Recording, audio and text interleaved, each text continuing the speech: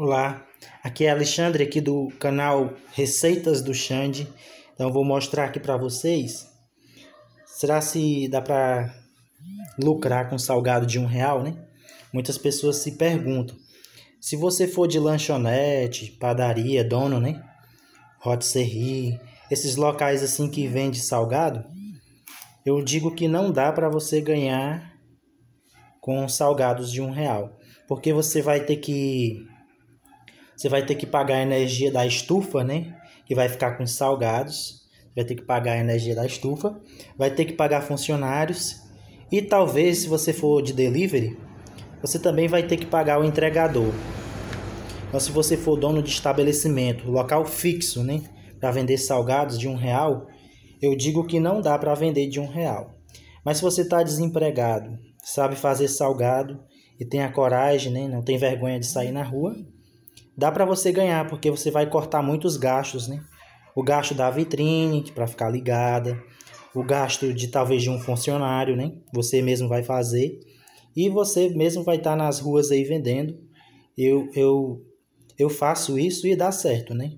Mas qual é o peso que a gente deve fazer da fazer a coxinha, o enroladinho, né? Qual é o peso da massa? E o que é que a gente precisa para trabalhar com isso? O aliado aqui, ó, que você vai ter que ser parceiro é da balança. Não vá pensar que você vai fazer salgado de um real sem uma balança dessas aqui não, é baratinha. Tudo vai, vai ter que ser pesado, tanto a massa como a, o recheio. E também, como a modelagem você vai fazer aí na precisão na balança, na balança vai demorar um pouco, um pouco de tempo, né, para você modelar. Aí você tem que cobrir a massa com um saco plástico, né, para não ressecar para não ficar dura. Essas balanças aqui, elas são boas. Já tô com já faz uns três anos que eu tenho essa aqui. Chega já tá um pouco surradinha aqui, mas ela ainda tá aqui funcionando. A única coisa ruim que eu acho dela é que é, é, essa superfície dela aqui é áspera. É qualquer sujeirinha que cai é difícil de limpar. Aí você coloca aqui um saco plástico, esses de hambúrguer, que já ajuda né, na limpeza depois. Aí qual é a grama aqui que você vai utilizar? De massa, você vai utilizar de massa, você vai utilizar 55 gramas de massa. 55 gramas de massa. 52. 55 gramas de massa. Tem que ser bem pesado. Bem preciso.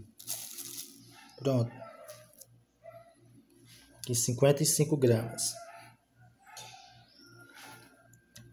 Depois que você pesar as 55 gramas de massa, aí você vai botar 10 gramas de frango, né? De recheio de frango, 10 gramas. Tem que ser bem pesadinho. Essa quantidade aqui é uma quantidade boa. 10 gramas de recheio. Aí vai, vai ficar uma, uma coxinha boa. Olha o peso que ela vai ter. 67 né, gramas. E também você vai cortar o, o custo de, do empanamento. Quando você for empanar, você não vai melar ela no, no ovo, na água, como alguns fazem, e passar na farinha de rosca. Nem farinha de rosca você vai usar. Você pode utilizar a farinha de trigo. Né? É mais barato, né? Dá para você empanar várias, vários salgados. Aí as pessoas dizem, mas vai sujar o óleo, né? Suja muito óleo. Mas depois você pode passar o óleo naqueles saquinhos de, de coar café. Ou numa peneira bem fina, né? Aí vai dar certo. E o de, e o de enroladinho de salsicha é as mesmas 55 gramas de massa. Mas a salsicha é cortada ao meio, né? Você corta a salsicha ao meio e uma salsicha você faz dois salgados. Dá para você ganhar se você tiver desempregado, né? Dá para você ganhar aí nas ruas vendendo salgado a um real. Mas como eu disse, se for dono de estabelecimento não dá. Padaria, rotisserie, lanchonete. Então é esse o vídeo. Gostaria de agradecer a todos vocês pela presença. Deixa o like. Se inscreve no canal aí se você não é inscrito para nos ajudar. E até o próximo vídeo.